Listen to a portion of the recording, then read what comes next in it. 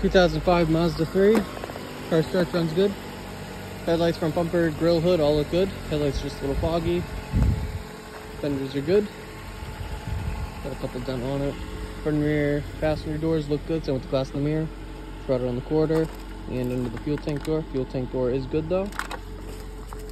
This taillight's good. Rear bumper and lid all look good too. So the taillight made it. Other taillight, or other quarter, sorry. Other quarter's seen better days. Completely rotted, top and bottom. Front rear driver doors. Rear driver looks good. Couple scratches on it, nothing overly serious. Led over to the driver door. Again, still usable. Fender looks good. Glass and mirror made it. Yeah, it's starting to rot on the door actually. Car has crank windows. Mileage 154. Aftermarket radio. Sounds like it works.